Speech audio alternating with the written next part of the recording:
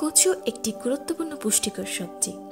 এই শাকে প্রচুর পরিমাণ ভিটামিন এ বি ও সি ক্যালসিয়াম, লৌহ ও অন্যান্য পুষ্টি উপাদান রয়েছে। কচু শাক দুই ধরনের হয়ে থাকে, সবুজ কচু শাক ও কালো কচু শাক। সবুজ কচু শাকের চেয়ে কালো কচু শাক অনেক বেশি পুষ্টিকর। সহজে পাওয়া যায় এই সবজি রয়েছে নানা স্বাস্থ্যগুণ। কচু শাকে আছে প্রোটিন, চর্বি, ক্যালসিয়াম, শর্করা, আয়রন খাদ্য শক্তি ভিটামিন এ বি সিক্স ও সি চলুন তাহলে শুরু করা যাক আজকের ভিডিও। আমাদের ভিডিও ভালো লাগলে অবশ্যই সাবস্ক্রাইব করে পাশে বেল আইকনটি প্রেস করে দিন সর্বপ্রথম আপডেট জানার জন্য। সেই সাথে আরও একটি কথা, ভিডিও শেষে রয়েছে আপনাদের জন্য গুরুত্বপূর্ণ কিছু টিপস। অবশ্যই ভিডিওটি শেষ পর্যন্ত দেখবেন। এক আমাদের শরীরে রক্তে হিমোগ্লোবিনের পরিমাণ কমে গেলে সব ডাক্তাররাই কচু শাক খাওয়ার পরামর্শ দেন। কচু শাকে প্রচুর পরিমাণে আয়রন থাকে, তাই রক্তশূন্যতায় ভোগা রোগীদের জন্য কচু শাক খাওয়া একরকম আবশ্যক বলেই চলে।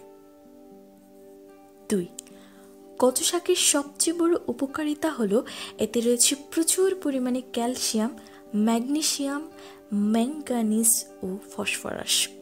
আমাদের দাঁত ও হাড়ের গঠন ও ক্ষয় রোগ প্রতিরোধে কচু শাকের ভূমিকা অত্যন্ত গুরুত্বপূর্ণ। তিন কচু শাক ভিটামিন এ এর খুব ভালো উৎস। রাতকানা রোগ সহ ভিটামিন এ এর অভাবে হওয়া সব ধরনের রোগ প্রতিরোধে কচু শাক অত্যন্ত গুরুত্বপূর্ণ ভূমিকা রাখে। ভিটামিন এ আমাদের রাতকানা, ছানি পড়া, চোখের বিভিন্ন রোগ প্রতিরোধ সহ দৃষ্টিশক্তি বাড়িয়ে দিতে সাহায্য করে। চার কচু শাকে বিদ্যমান নানা রকমের ভিটামিন ও খনিজ উপাদান গর্ভবতী মা ও শিশুর জন্য অনেক উপকারী। পাঁচ, মানব শরীরে কচু শাক অক্সিজেনের সরবরাহ সচল রাখতে অনেক বেশি কার্যকর ভূমিকা পালন করে থাকে। এই কচু শাকের আয়রন ও ফোলেট মানবদেহের রক্তের পরিমাণ বাড়ায়, যার ফলে অক্সিজেন সংবহন অবস্থা পর্যাপ্ত থাকে। এতে উপস্থিত ভিটামিনকে কাটা ছেড়ে রক্তপাতের সমস্যার সমাধান করতে সাহায্য করে।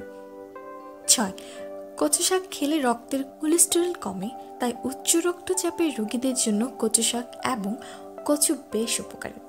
তাছাড়াও, নিয়মিত কচু শাক খেলে কোলন ক্যান্সার ও ব্রেস্ট ক্যান্সারের ঝুঁকিও কমে।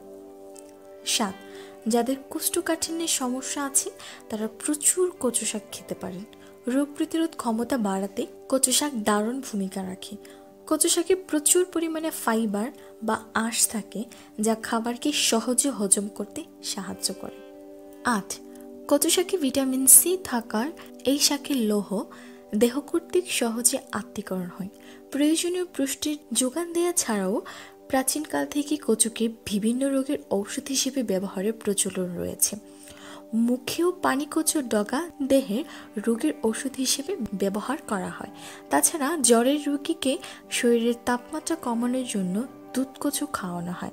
উলকচুর রস উচ্চ রক্তচাপের রোগীকে প্রতিষেধক হিসেবে খাওয়ানো হয়।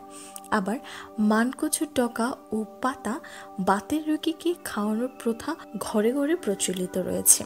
সতর্কতা।